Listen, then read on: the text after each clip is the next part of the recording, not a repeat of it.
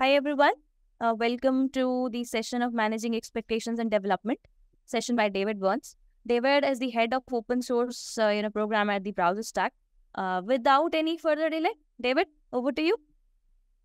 Hello. Uh, thank you for that lovely introduction. Um, I really appreciate it. So, uh, welcome everyone.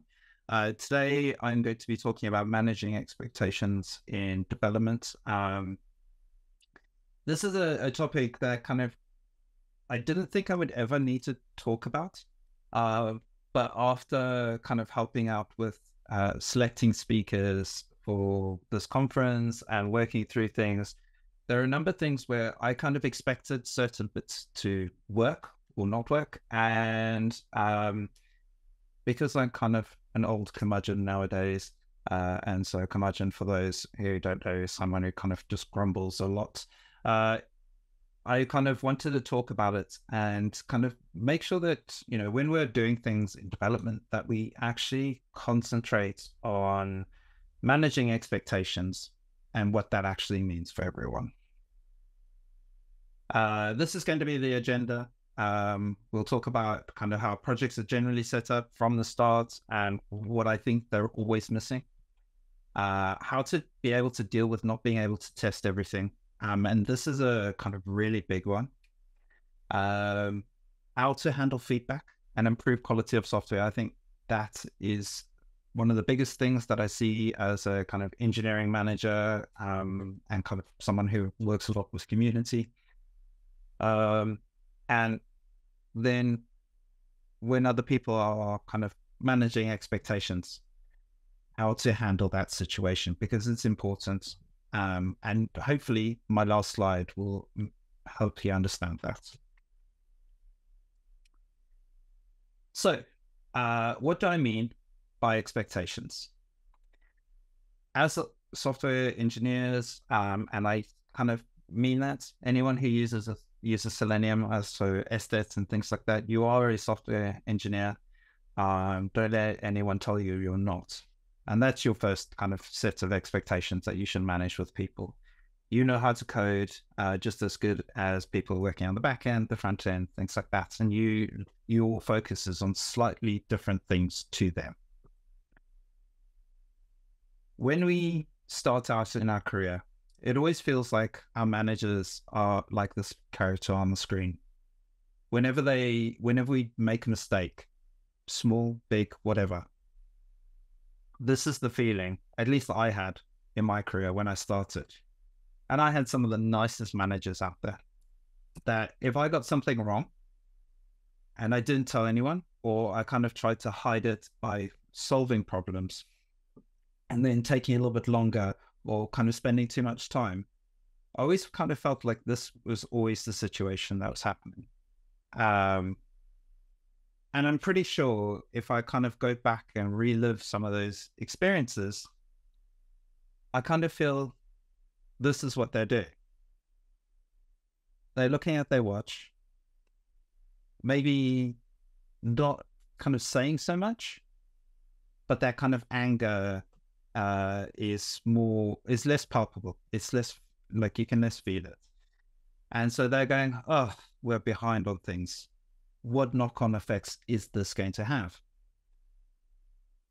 And so by not managing our expectations, we don't know how people are going to perceive us, um, how they're going to react to us, um, and how, and we also by not managing by kind of not sharing expectations as managers, we don't let people know what is also being held up, right?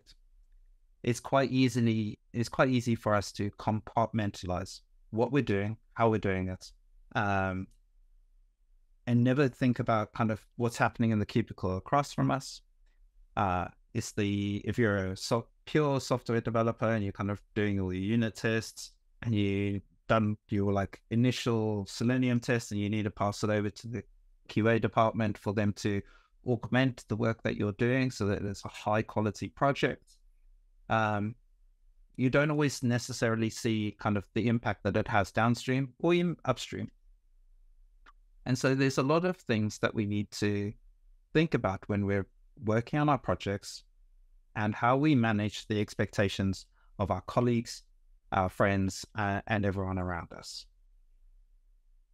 I'm going to put in a, a nice story about me.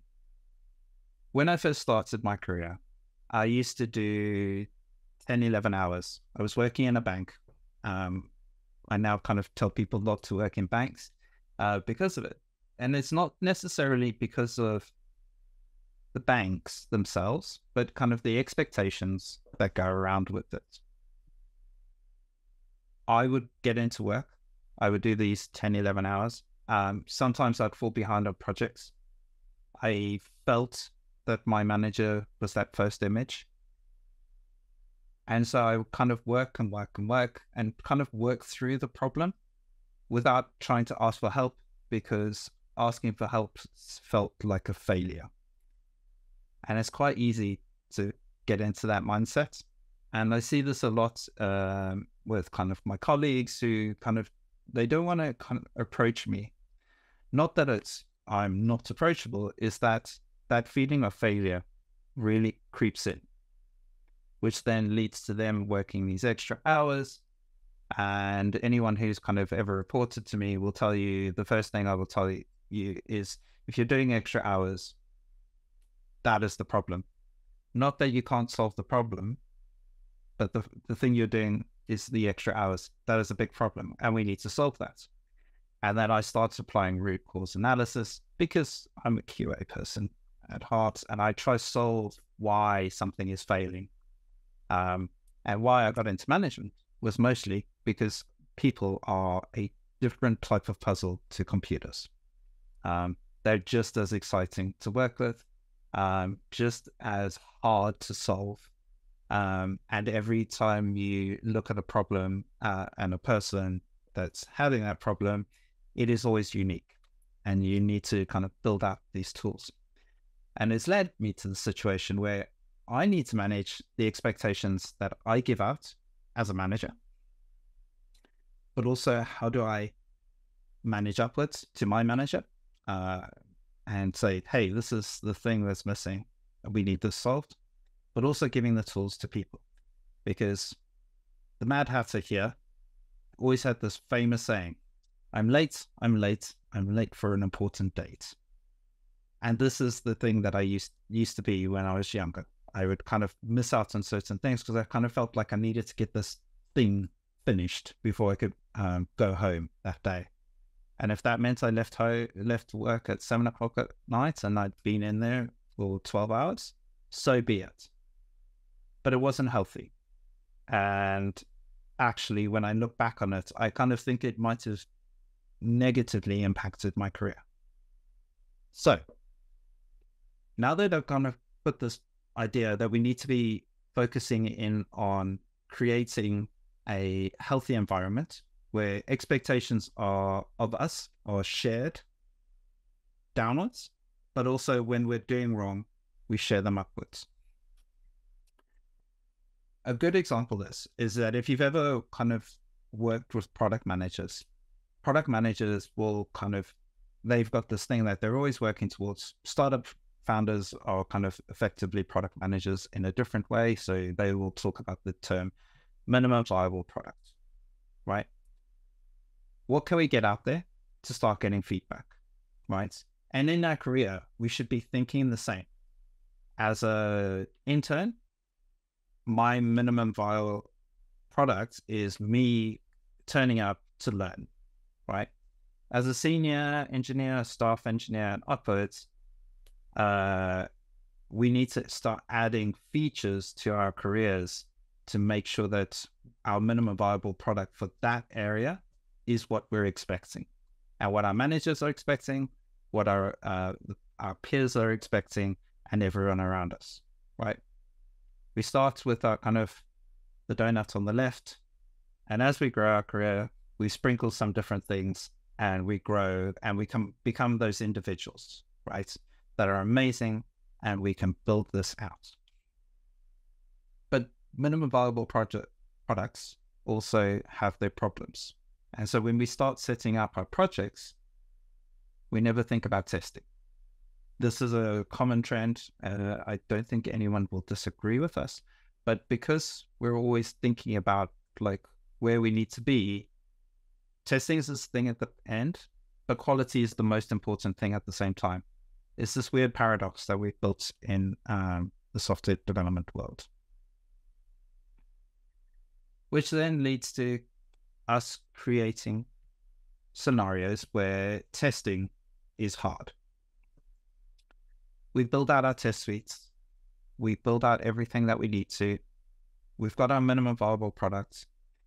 And then suddenly with Selenium uh, and Playwright and Cypress, right? Like there's this common theme. Um, and I kind of talked about the testing framework's not the problem. It's everything else. Uh, when it comes to flakiness, we get into the situation of it's not easy being green.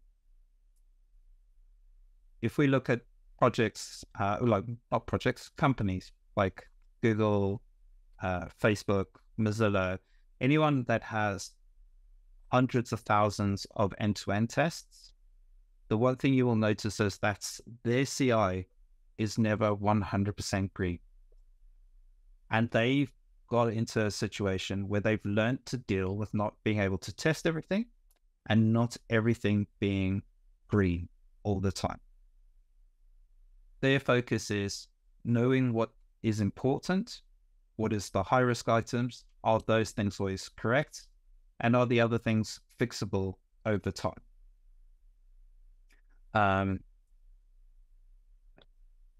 the, the way things were approached was there was a what we call sheriffs, uh, Mozilla calls sheriffs. I know this is a general term that goes to large companies who are always the team that looks over, over the CI and goes, this test has a uh, 10% chance of failing all the time. And if that delta, uh, like if the, the delta of failure increases over time, that's the problem that needs to be solved, not that necessarily the flakiness. You don't need to rewrite all your tests from Selenium to Cypress, then get to more flakiness over time, and then decide to rewrite everything to Playwright. Flakiness is kind of a hard problem, but it's not necessarily the testing tool, it's how you approach testing that inherent knowledge in the backend. And we need to be able to set the expectation that we can't test everything and it's okay at the same time. And we need to manage those expectations with our managers, with our clients, with everyone. Um, that we will do our best, but quality is never assured, right? Despite the paradox of the, the name that we in the field that we work. When we start getting, we've told people that we can't test everything, but we also at the same time want to be able to improve testing. So how can we go about improving the quality of our software without necessarily testing everything. We can employ certain tools to help us, observability like uh, OpenTelemetry, building that into our systems improves things. Um, if you've worked with product managers, you'll have heard the term NPS, uh, which is the Net Promoter Score.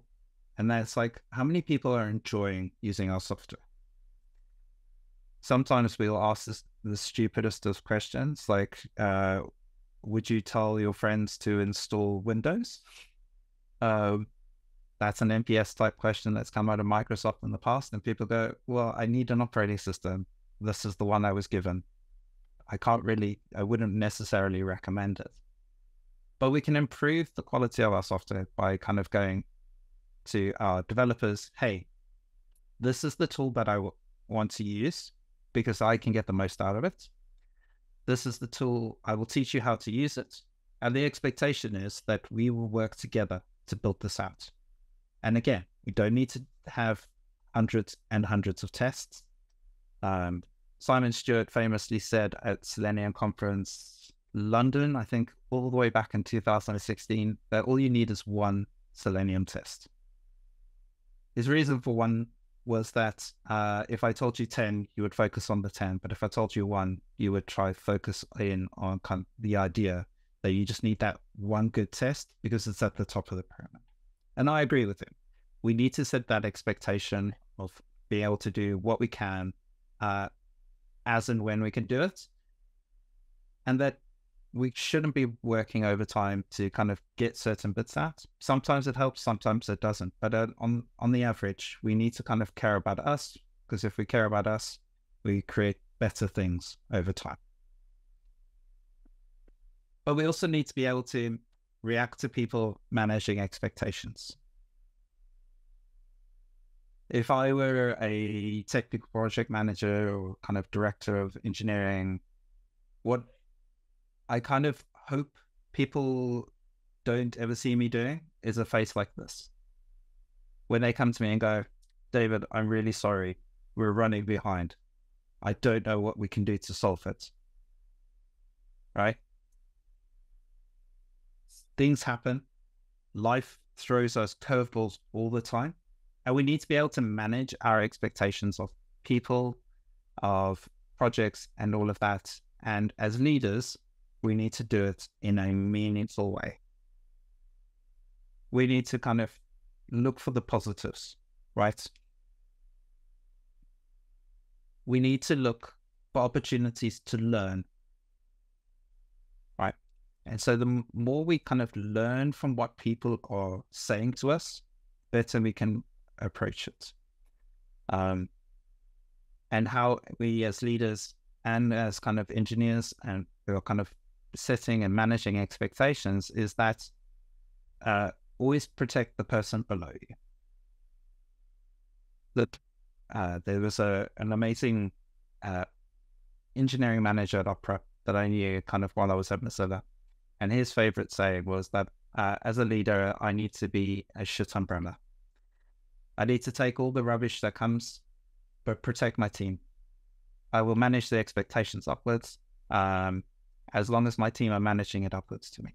And I will protect them in the best way because we'll learn, we'll do things better. And the next time this problem happens, it's going to be easy. We need to iterate, right? My fa- my favorite saying that I encourage all my team is that it's fine to fail because fail means first attempt in learning. And we should do that regularly with what we're doing. Because if we're managing expectations, we can all be happy and we can all kind of get to where we want to be and do uh, amazing things. And quality will always be there with us because we're improving it all the time. And my final slide, well, really final slide, uh, is when thinking about this, uh, managing expectations will manage your career. If you tell people how you're doing well, uh, and if you're not doing well, how you plan to fix it, or asking for help and never being afraid to do that, so managing this will kind of manage your career, and I promise it will do amazing things for you. So with that, Oh, there was an image over here. That's not loading. Uh, but that's it. Thanks for listening to me. Um, I hope you that was useful. Um, it's not really Selenium related, but it's kind of good for your career. Thanks, thanks, David. Thanks a lot. I'm sure everyone in this session, you know, kind of related with that. At every point of time, everyone has faced those expectations and you know, trying their best to meet those expectations.